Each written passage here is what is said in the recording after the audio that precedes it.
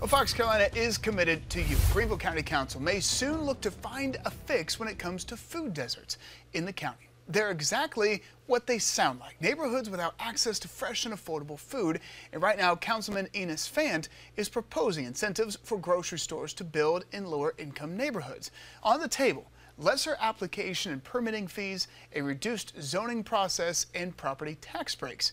The Fant has told us the proposal must first go through the Finance Committee before the full council can take a vote. And for much more on this issue tonight, we sat down with Dr. Ken Kolb with Furman University. Dr. Kolb, thank you so much for joining us. Uh, just to kind of give the viewers at home a lowdown on exactly who you are and what you've done here. You are a community based researcher. We know you're a professor at Furman, but also you are the author of Retail Inequality, which was a finalist for the James Beard Award, where you really focus in on food deserts, the cause of them, and the background, the backstory of them. So I want to go ahead and start off with a broad approach here for people at home.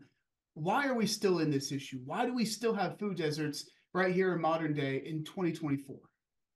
Yeah, well, it's interesting that you say it because in uh, next year in 2025 will be the 30 year anniversary of the the term food desert. It was actually coined in Scotland in 1995, um, and it came over here. Big part of the U.S. political debates in the 2010s, um, and we're still dealing with it largely because the grocery store business is a really hard business. the the margins are super thin, uh, and the economic conditions need to be right for stores to move in and to be able to stay in. And so uh, there have been a lot of initiatives in the past 10, 15 years to try and incentivize stores to move into areas where they are not, or maybe they, they moved out long ago.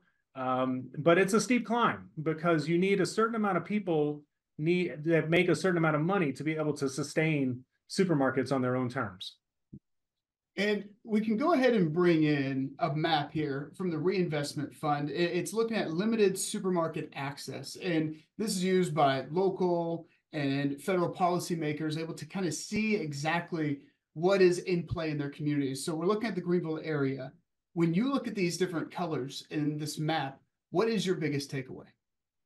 Well, when people have to travel far for a grocery store shop, uh, they know it, and so you, you, know it when you see it. But this is this map offers um, a data tool to quantify people's relationship to their food environment. And so it relies on locations of supermarket businesses. We know all those addresses because I have to register their businesses.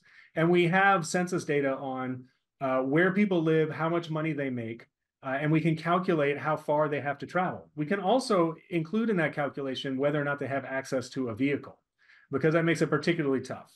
Uh, to get to the store on foot, if it's more than a half mile away, becomes really quite difficult, especially for folks with mobility problems. And so what local leaders can use is they can overlay their own public transportation system, like the Greenlink system, and identify areas where the buses don't go. And if you have low access supermarket areas or low access um, to healthy food options, then it gets really tough for people to be able to afford to buy healthy food. Now, we need to remember that healthy food costs more per calorie than unhealthy food. And so, if you live closer to unhealthy food, uh, you save time and money because you don't have to travel farther away to buy more expensive items that even though they may be healthier, those extra expenses cut into your food budget. And for folks who are living just around the ability to make ends meet, an extra mile of travel can really cut into that food budget and then lead to instances of food insecurity, which is uh, basically what we call hunger today, people's inability to pay for all of their food throughout the month. I think lastly here, the big reason why we're having this conversation proposal now from Councilman Ennis Fant, where he, he's hoping to offer incentives to get grocery stores into some of these communities where he's offering possibly lesser application permitting fees, property tax breaks. So that sounds decent on the surface to bring these grocery stores in. How can we make sure that they stay? Well, the um, the tactic or the strategy to incentivize stores to come in uh, to where they previously were enclosed or where they haven't located in a long time um, has been in use in the United States for about 15 years now.